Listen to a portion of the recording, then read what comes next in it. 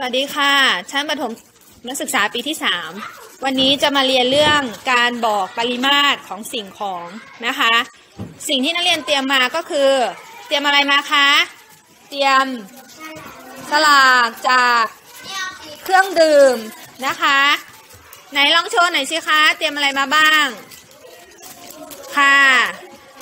ใครสามารถบอกปริมาณสิ่งของที่เตรียมมาบ้างคะ ใครสามารถปริบอกปริมาณได้อันไหนคะ คุณแจ็คเตรียมอะไรมาคะ มีปริมาตรเท่าไหร่คะโชว์ให้คุณครูดูหน่อยค่ะพันห้าเท่าไหร่คะหนึ่งพันห้าร้อยมิลลิลิตรค่ะ คุณสศิธร สิ่งที่เตรียมมามีปริมาตรเท่าไหร่คะ โชว์ให้ดูหน่อยค่ะ ไหนโชว์ให้ดูหน่อยค่ะ โอเค คุณปฏิพัฒน์ คุณปฏิพัฒน์เตรียมอะไรมาคะไหนโชว์ให้ดูหน่อยค่ะ เป็นฉลากของน้ำดื่มค่ะ มีปริมาณเท่าไหร่คะหนึ่งพันห้าร้อยมิลลิลิตรบอกสามารถบอกเป็นลิตรได้ไหมคะ กี่ลิตรเอ่ยหนึ่งพันห้าร้อยมิลลิลิตรหนึ่งลิตรกับอ่า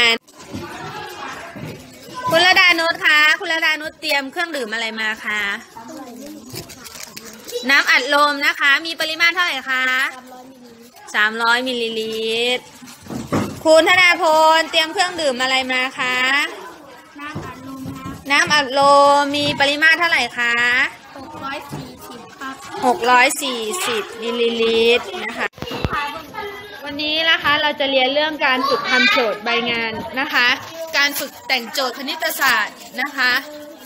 จากเรื่องปริมาตรนะคะ นักเรียนจะได้ลงมือแต่งโจทย์จากสิ่งที่นักเรียนหามาเองนะคะแม่มีน้ำเปล่าสามร้อยมิลลิลิตรพ่อให้แม่มาสี่ร้อยมิลลิลิตรแม่เหลือน้ำเปล่าเท่าใดโจทย์กำหนดอะไรมาให้บ้าง แม่มีน้ำเปล่าสามร้อยมิลลิลิตร พ่อให้แม่มาสี่ร้อยมิลลิลิตร โจทย์ถามอะไร แม่เหลือน้ำเปล่าเท่าใด วิธี การฝึกแต่งโจทย์คณิต โจทย์ฉันไปซื้อน้ำปริมาตรสูตร200 มิลลิลิตร น้องดื่มไป 175 มิลลิลิตร เหลือน้ำเท่าใด โจทย์กำหนดอะไรมาให้บ้าง